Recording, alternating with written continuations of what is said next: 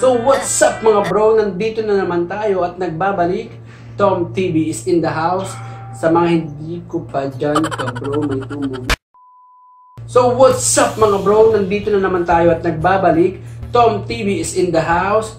Sa mga hindi ko pa dyan ka bro, huwag niyong kakalimutan mag-like, mag-comment, syempre mag-subscribe na rin kayo. At syempre, pakipalo na rin yung kampana ko sa baba para lagi kayong updated sa aking mga vlogs. At bago ang lahat, syempre, intro muna tayo. Let's go!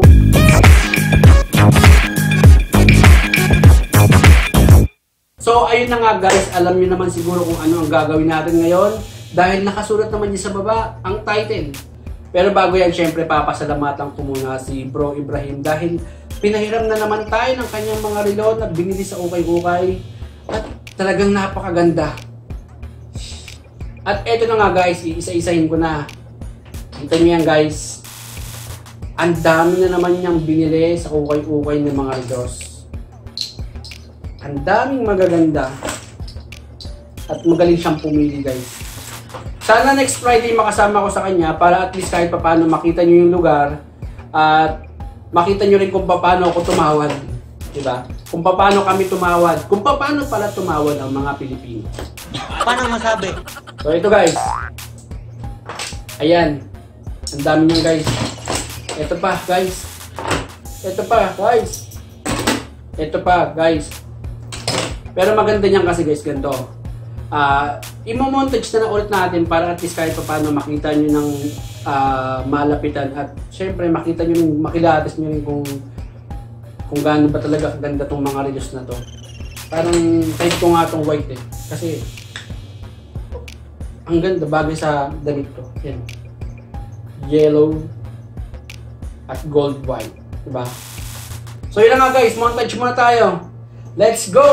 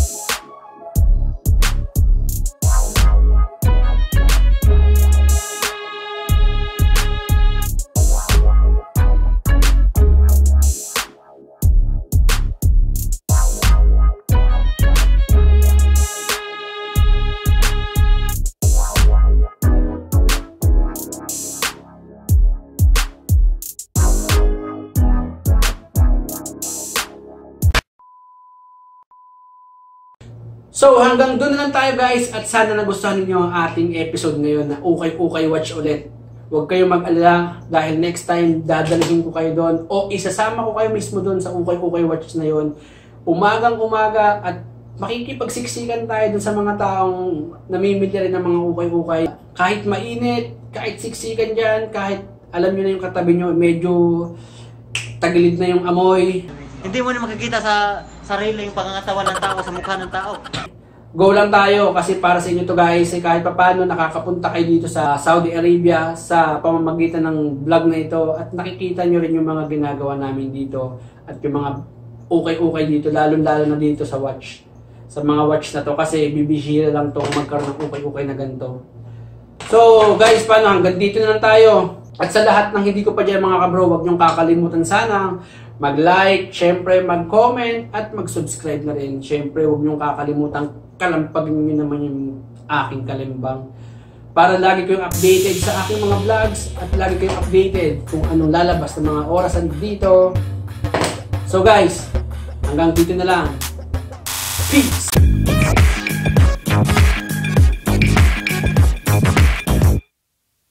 Natin dahil nakasulat naman. So, ayun na nga.